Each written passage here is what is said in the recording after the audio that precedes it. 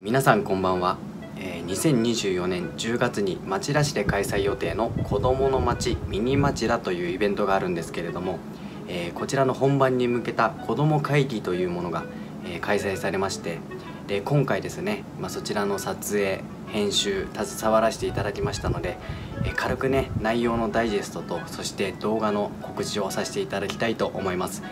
えそれではまずは、えー子ども会議の模様をご覧ください。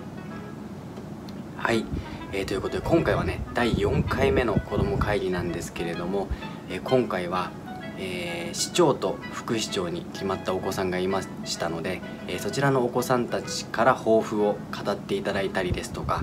まあ、あとはミニ町田の町で使う通貨お金ですね。お金の名前を決めるっていうね、えことをしたりですとか、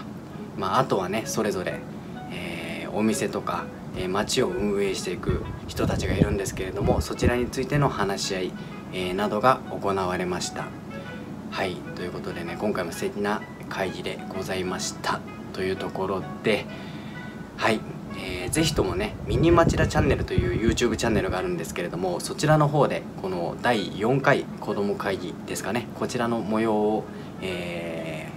本編を、えー放送しておりますのでぜひともね URL 概要欄に貼ってありますのでそちらをご覧になって、えー本編ご覧いただけますと幸いでございます。ということでですね本日は、えー子どもの町ミニ町田、えー本番に向けた子ども会議の模様の告知をさせていただきました、